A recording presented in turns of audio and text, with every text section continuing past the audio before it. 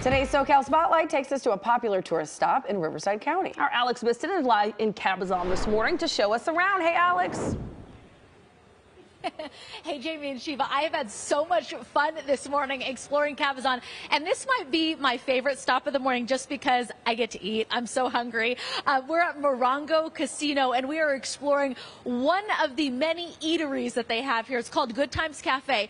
I want to bring in Chef RJ. We were just chatting. RJ has come up with all of this awesome food that you see here. RJ, I want you to tell us a little bit about your creation.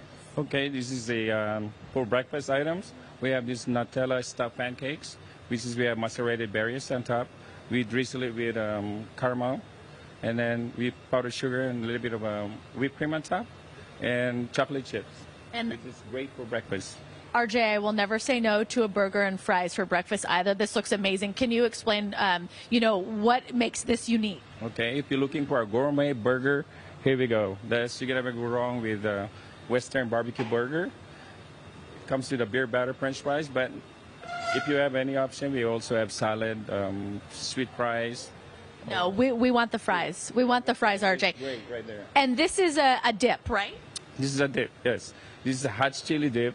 If you're at the bar drinking your favorite beer, here we go. Good to share. It comes with a, good to share actually, and comes with a, I mean, chips, uh, chicharrones, and here we go, the cheese dip that we created. And last but certainly not least, this is the prime rib where a lot of our uh, guests here, they just come here for that item. Prime rib. That looks so good. Uh, RJ, I want to talk a little bit about your career here at Morongo. You were telling me off camera, you've been here for 18, 18 years. years. Yes. Wow. I want you to tell me what it's like for you to be able to create these like culinary masterpieces for people when they come here. I mean, they come here to relax and enjoy. What are, what is that like for you over the last 18 years? Well, pretty much like excitement of creating something. It's like an art for me. You know, it's an art. You know, like I, get, I like to taste different things and create different things. I like to watch shows and create something that I call it my own. So here you go. Those are the creations that we created over the years. I love to see it. RJ, thank you so much for joining us. Thank you. And I have to, I know you guys don't have smell-o-vision. You can't smell it, but this smells amazing. So, uh, Shiba and Jamie, I'm going to send it back to you. I want to dig in. So Absolutely. we will send it over yeah. to you. And yes, I will try to try to gamble for you as well. Thank you. Appreciate that. I think the gamble is going to be if you can get that burger in your mouth. Oh.